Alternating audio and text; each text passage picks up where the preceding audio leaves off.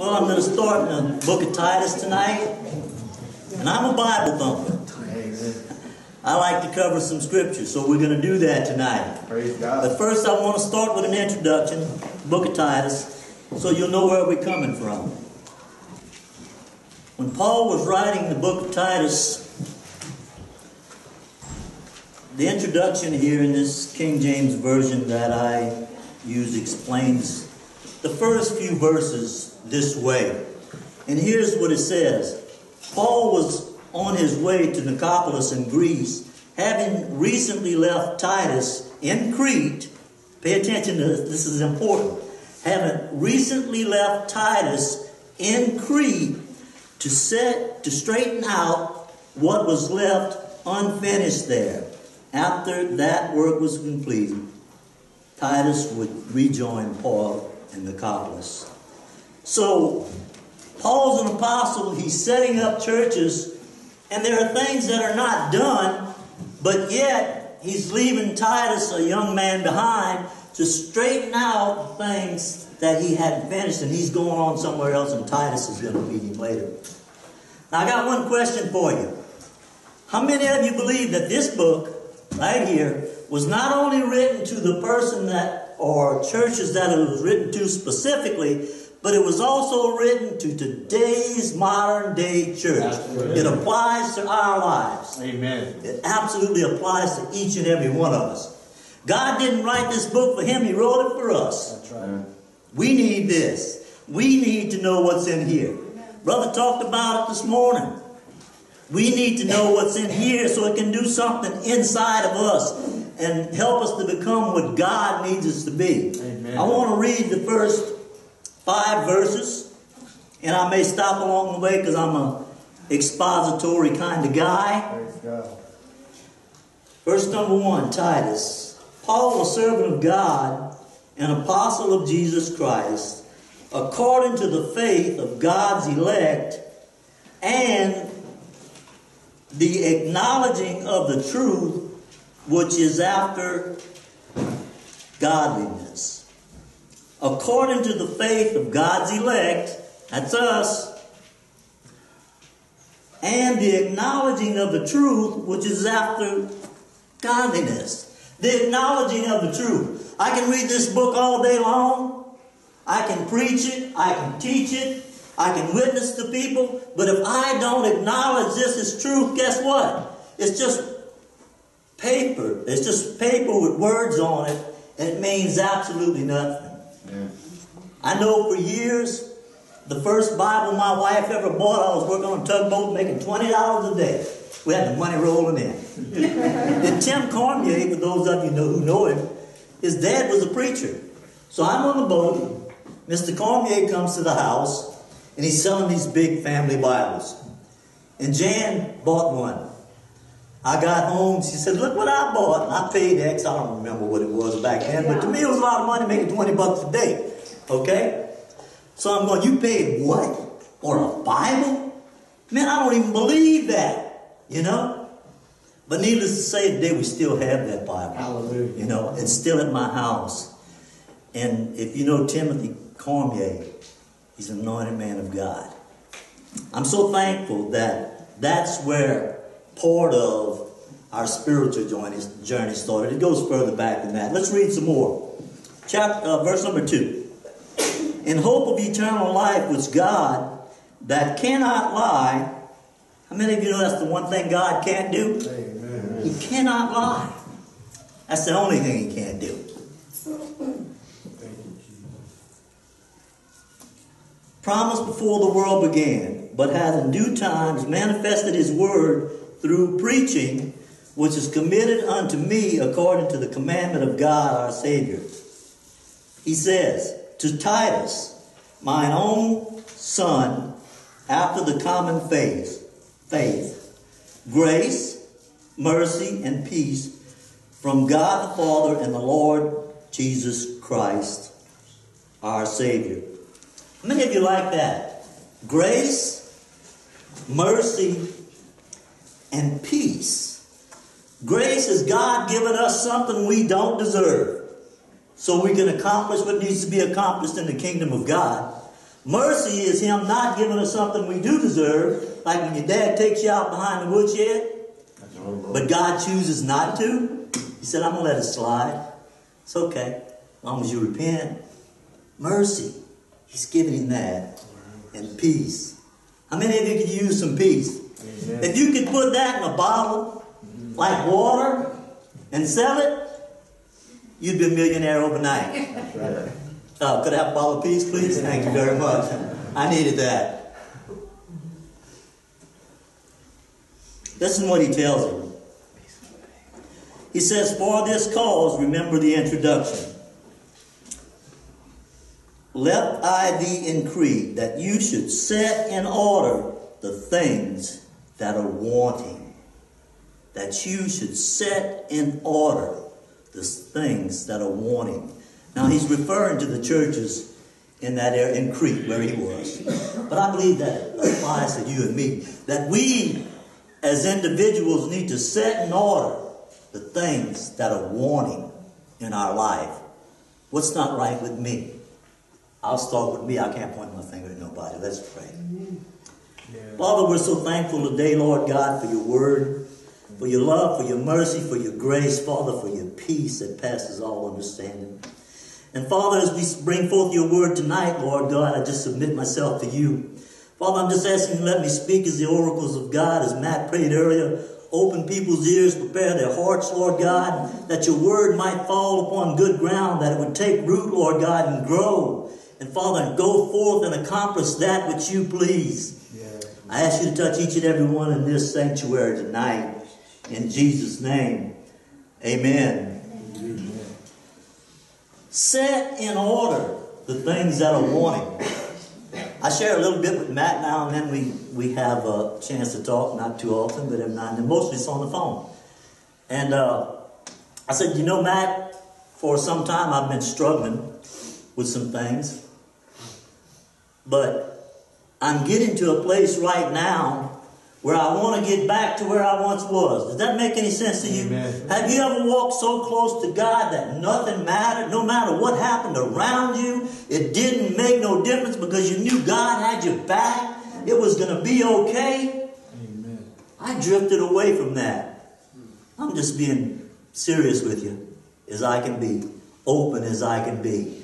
But I want to get back to that place. I'm wanting to commit again. I'm wanting to serve God again because I know what I had when I gave God my all. Amen. It was all good, no matter how bad it was, if that makes any sense to you. Amen. It was all good because God was walking with me. Praise God. Thank you, Jesus. Let's go to uh, Romans chapter 12. Back up a little bit. Let me know when you get there. Give me an amen when you get to Romans chapter 12. Amen. Some people flip faster than I do. Hallelujah. I'm going to read verse 1 and 2. Then we're going to go to Titus and we're going to come back here in a little while. It says, I beseech you, therefore, brethren, by the mercies of God, that you present your bodies a living sacrifice, holy, acceptable unto God, which is your reasonable service. Mm-hmm. I beseech you, I beg you, I'm trying to encourage you to do the right thing when he says, I beseech you. This is what you need to do. That's what he's telling him. He's trying to lift him up. In verse number two, it says, And be not conformed to this world, but be ye transformed by the renewing of your mind, that you may prove what is that good and acceptable and perfect will of God. By the renewing of your mind, I believe we had a sermon on that just a couple of weeks ago, talking about the mind, renewing your mind. How are you going to renew your mind? Ever ask yourself that question? Anybody other than me? How am I going to renew my mind? Right here, and we're going to talk about it. We're going to look at it in Scripture, this book. 2 Timothy chapter 2, verse 6, 15 and 16 says, Study to show thyself approved unto God. Unto who? God. Do we have to impress anybody in this old world? No. Not a soul. I'm going to stop right there for just a minute. Amen. I walk in the lobby where I work, and I'm carrying this radio to communicate with the people on the yard. We've got a 38 acre site, and I have to communicate with guys that work with me. So, and there was four or five people in there that had suits on. So I just kind of nodded at them, you know, bidding them a time of day, and one of those guys in that suit, he went, he did this number. And he looked up and down at me, and he turned his head. I'm thinking, wow, I don't have to impress that man. That's right. You know, but he thought that he was a somebody. I don't know about you. I'm glad they got people on corporate ladders, maybe not. they run things completely different than a mom and pop open organization, right? Yeah. But just because you got a suit on, it doesn't make you a better individual. Amen. It doesn't change who you are on the inside. When I pastored a church in Missouri, they called me the blue jean preacher. They're going, You don't want to put on a suit? No, I don't want to put on a suit. I'm good like this. I'm going to teach you the Word of God. I'm going to preach the Word of God. Mm. I don't have to have on a tie. If you want to wear a tie, that's good. I don't have a thing against it. That's, that's you, you know. However you're comfortable. but what you have on is not what makes you who you are. Scripture says that God looks on the inside. He look, man looks on the outside. God looks at the heart. That's right. People look, will look at your clothes, you know, and pass judgment on you just because of the way you're dressed.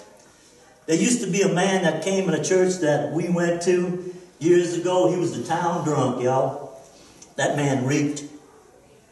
The pastor would tell us if he comes in here and he sits by you, breathe through your mouth and don't tell him a word. Amen. Amen. Don't tell him a word. He needs to hear the word of God. I was preaching in a Baptist church one time, and I talked about a man with tattoos and earrings and all this stuff. You know, we go on all kind of tangents. You can pick something. There's all kind of stuff out there that you can point your finger at. And I said, suppose this person walked in the door the very next week, y'all. This dude come in, he was covered with tattoos. He had this hole in it, this ring in his ear with a big hole in it. And he, he was interesting to look at. I'll leave it like that. But you know what? We welcomed him into that church. It didn't matter what he looked like. God loved him anyway. Right. Still does. And he loves each and every one of us in here. In spite of who we are, where we are, what we've done, it absolutely makes God no difference. If your heart is right and you're reaching out to Him, going, Here I am, Lord, fix me. Because I can't fix myself. You ever had something you can't get over, can't deal with? I've had a few struggles in my life. Y'all have heard Matt tell his testimony many times.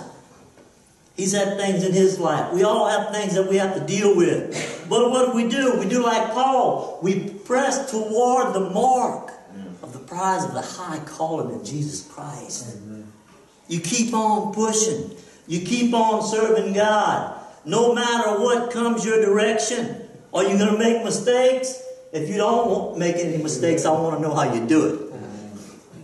Thank you. Seriously. Thank you. Because I make mistakes.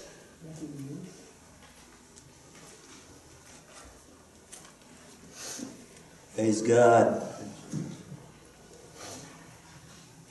Study to show thyself approved, 2 Timothy 2.15.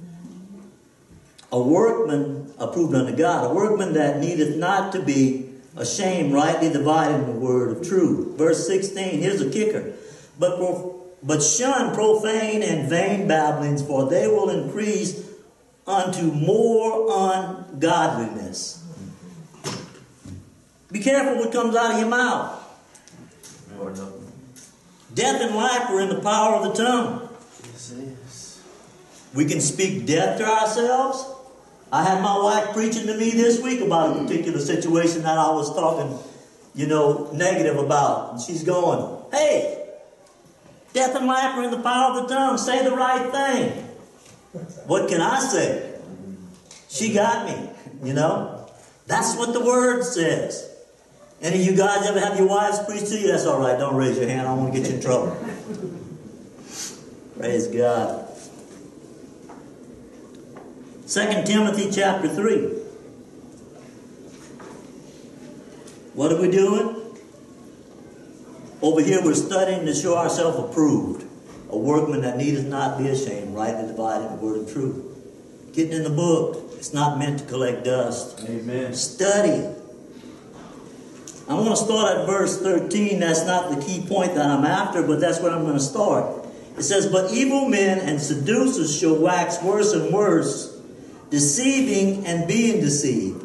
But continue thou in the things which thou hast learned and hast been assured of, of whom thou hast learned them, and that from a child thou hast known the holy scriptures, which are able, is that in there? Which are able to make you wise unto salvation through faith, which is in Jesus Christ. Let me repeat that. And that from a child thou hast known the holy scriptures, which are able to make thee wise unto salvation through faith, which is in Jesus Christ. Amen. Now, I don't know that everybody in here was raised in church. I wasn't raised in church. Well, I was sent to church. And when I got old enough, I'm going, there's something wrong with this picture. My mom and dad's telling me I got to go to church and they're not going. There's got to be something missing there. You know? So, at the age of 29, I gave my heart and life to Jesus. Amen.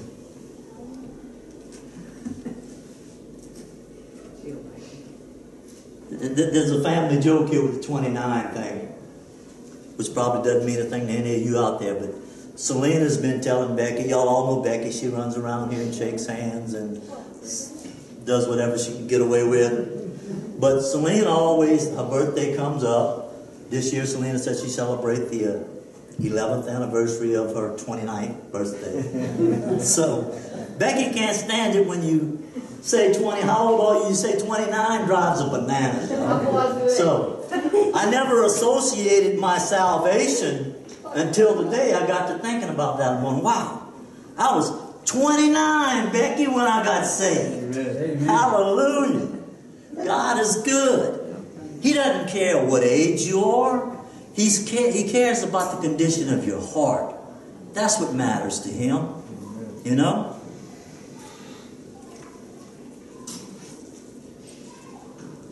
Verse number 16. You ever have somebody tell you this is just a book written by man? That's right. All the time. You can't believe that. Just written by man. How many authors? Uh, six, uh, 60, 40, 60, 40 authors. 40 authors, 66 books, something like that. We're in the ballpark. Y'all get the message? Okay. So, verse 16 says, All scripture is given by inspiration of God and is profitable for doctrine, for reproof, for correction, for instruction in righteousness. How many of you like those words? Doctrine's good stuff. Amen. Reproof, reproof's good stuff. Amen. Correction. How many of you like that? Hold on, preacher. Don't be telling me there's something wrong with me. Come on. I mean, what do you mean? Who do you think you are? Joe Wilson. A messenger of the Lord Jesus Christ. Amen. Saved by grace through faith in Jesus. That's who I think I am. That's right. I'm a child of the Most High God. That doesn't make me any better or any worse than you. That's right. You hear me? We're all in this thing together. Amen. But for the grace of God, we'd all be lost. That's right. It's because of the price that He paid at Calvary. You know? Amen. That's what makes us special. We're made the righteousness of God through faith in Jesus Christ. Not my righteousness. There's something I've always tried to do that was instilled in me as a young man. My dad and my uncle that lived next door, they both told me, they said, Boy, if you say something, mean it. Say what you mean, mean what you say. That was instilled in me as a young man. You know what? That didn't make me a Christian.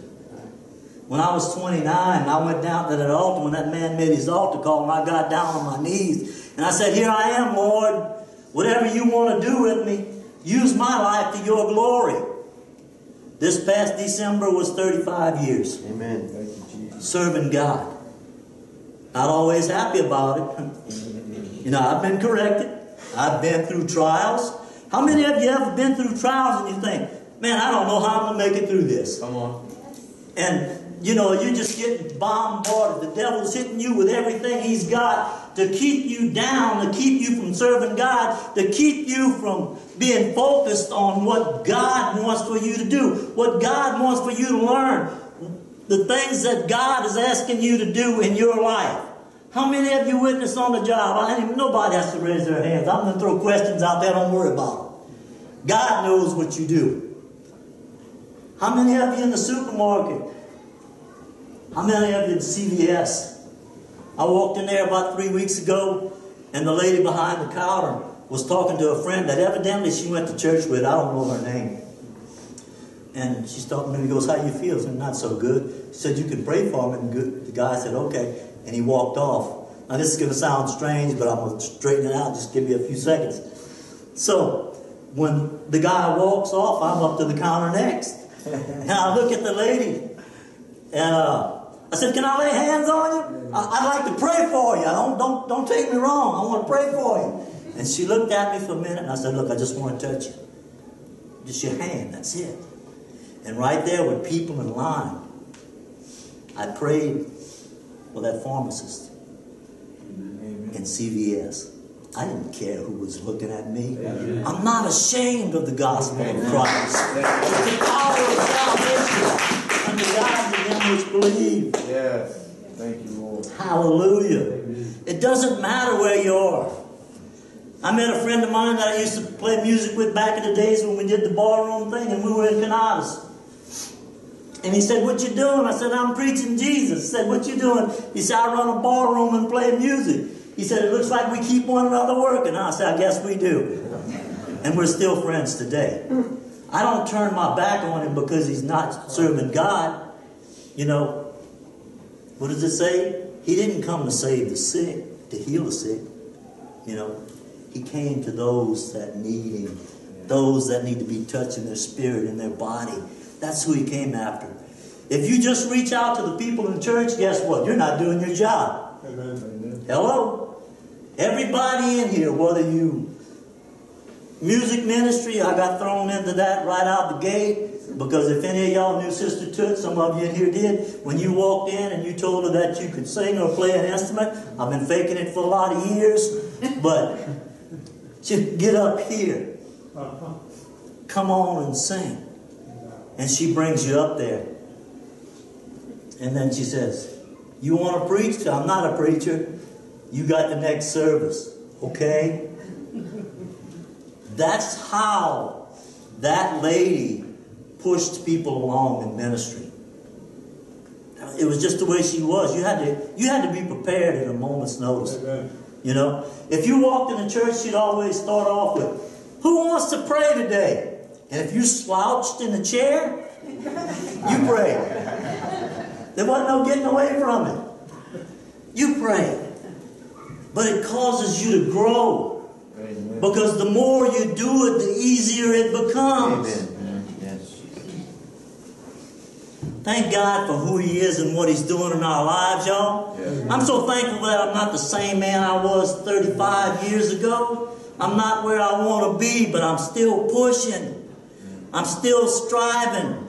I want to serve the Lord with all my heart. And I want to touch as many people as I possibly can to make a difference in this world. There's enough people out there that are wanting to jump off of rooftops and take guns and do whatever they want to check out because they don't want to deal with the issues in this world today. God help us to never get to that point. That we always have hope. Jesus said Jesus endured the cross for the joy that was set before him. We got something to look for far beyond what we experience right here and right now. Amen. And this is nothing compared to what God has prepared for us.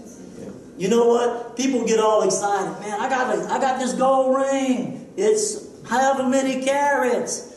You know what people consider precious gold? We're going to use for pavement in heaven to walk on streets of glory. It's going to be nothing but what we use asphalt down here, concrete. You know? What's such a big deal about a piece of gold? When God says it, I just walk on that stuff, it don't mean nothing. Your heart, your life, where you spend eternity, that means something to God. Amen. He created mankind knowing that he was going to give them the opportunity. How many of you know that God could have created robots? That's right. Robotics is a big deal these days.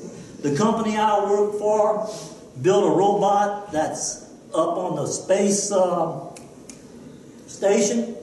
The dexterity in that thing, every knuckle on the fingers is just like you and me.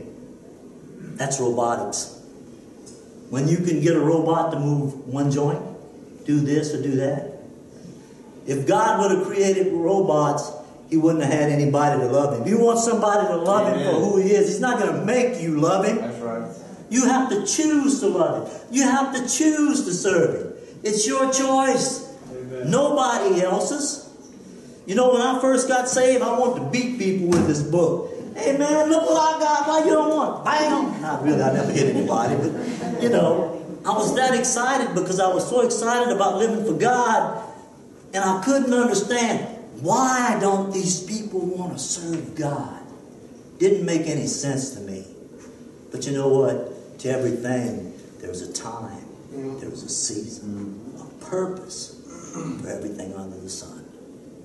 In God's time. You know, we get all wrapped up and worried and bent out of shape and wonder when certain things are going to happen.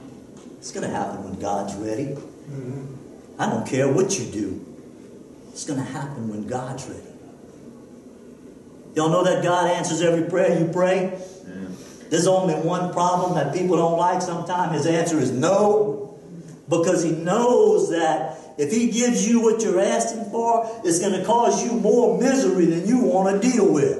Mm. And God says, no, not right now. Maybe later, but not right now.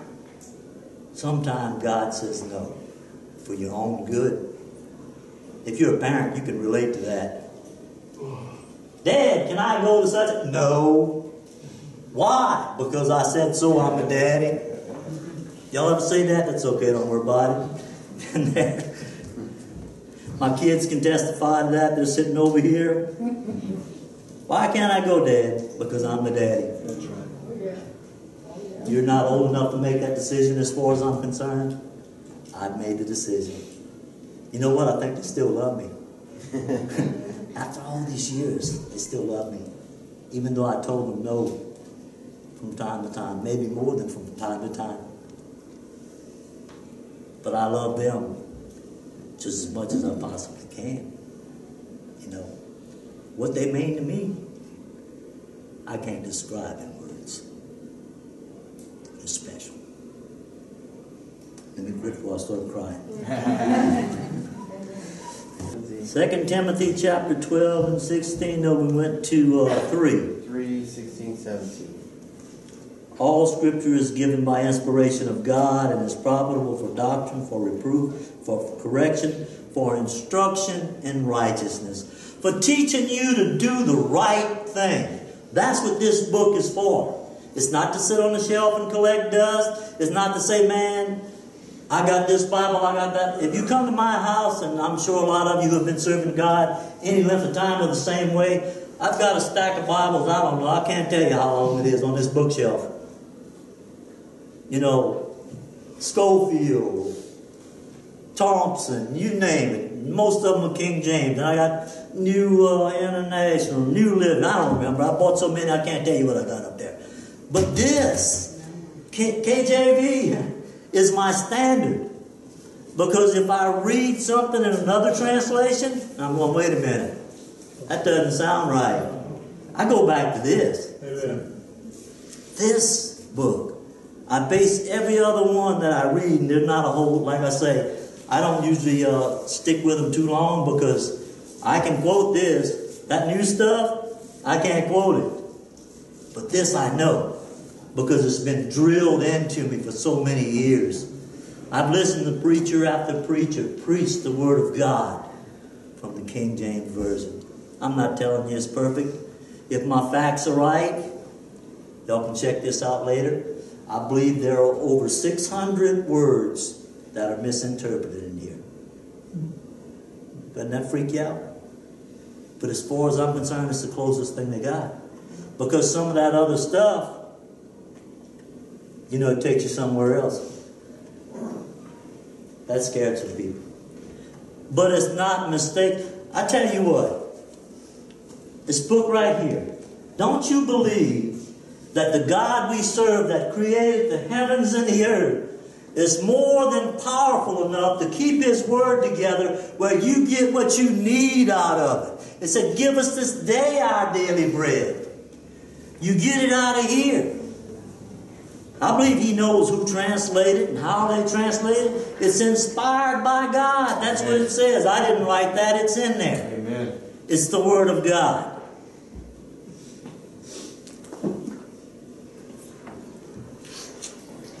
Ephesians chapter 5.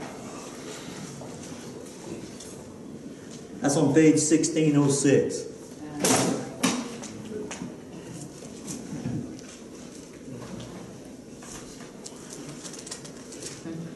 Now, some of this I use in a wedding, and I'm just going to use a small portion of it because I'm not doing a wedding.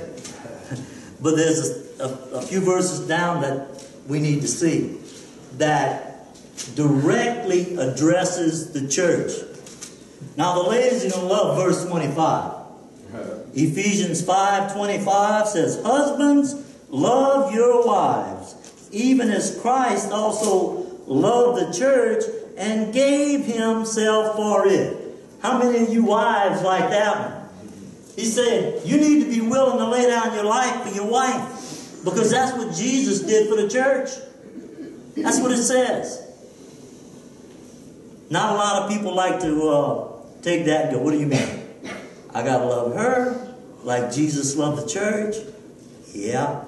She's your wife, says the two shall become one flesh. Says no man ever hated his own self. He loves himself. So your wife is just important to God as you are because you're one flesh. That's not where I'm going, that's laying you out. Husband loves your wives even as Christ also loved the church and gave himself for it. Why? That he might sanctify and cleanse it with the washing of the water of the word. That he might sanctify and cleanse it with the water of the washing washing of the water by the word. What did I say earlier? Study to show thyself approved. How are you going to take a spiritual bath? Any of you ever look at it like that when you read this scripture? How are you going to take a spiritual bath? With the washing of the water by the word.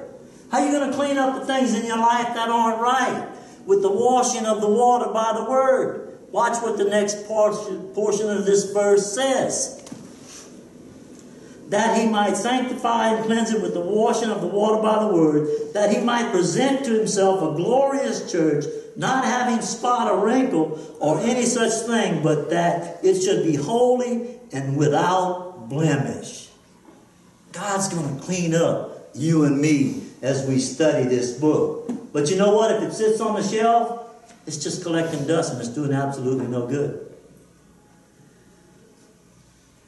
Let me use a simple analogy. My son just bought this new guitar. I don't know how many of you guitar buffs, but we are. Man, we look at that thing and we go, son, you know how much good that guitar good does if he doesn't pick it up and strum it or pick out a note? None. It doesn't make music. It doesn't accomplish what it was intended for when it was built. When God created you and I, says He knew us when we were in our mother's womb. Before we were born, God knew us. But if we don't get in here, study this book, find out what it says, and apply it to our lives, then we could be just like that thing sitting in a corner collecting dust and not getting anything out of it. That's right. I believe God's called everybody to ministry. Amen. You may not get up in the pulpit, You may not get out on the street corner. You may not go to New Orleans and preach on Bourbon Street like some people I know. Don't point at Matt, no. Matt would do that. Matt does that. Has done it. But some way, shape, or form, God wants to use you to His glory. For His glory, not yours. It's all about Jesus. Amen. Let's talk about Jesus. King of kings is He, Lord of lords. Let's talk about Him. How are people going to know where you're coming from? And I'm going to go one step further with that. You can talk about Him all day long, but if your actions do not reflect what you're talking, guess what? People aren't going to take you seriously. I'm going to go back to Becky again. Matt says he likes to use his kids. I do the same thing to mine. There was a couple sitting over here this morning. So Becky goes, I won't preach tonight. they look at her, what you going to preach on? And sometimes her speech is clear, certain words, other words it's not. So she said, sin, hypocrites. the people look at me, they caught the sin, but they didn't catch the hypocrite part. And they going, what did she say? I said, hypocrites. Okay? Now, I don't know how they took it. But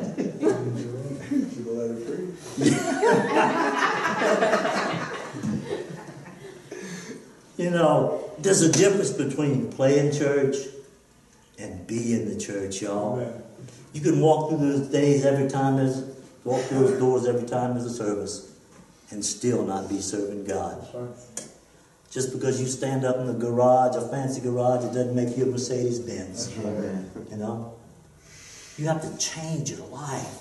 You have to submit to God and let Him do what He wants to do. Hallelujah. Thank you, Jesus. Let's go back to Titus, right where we started, chapter 1.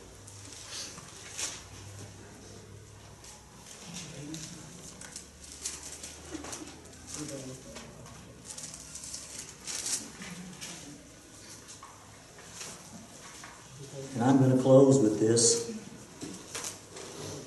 We'll start at verse number 5. For this cause left I thee in Crete, that you should set in order the things that are wanting.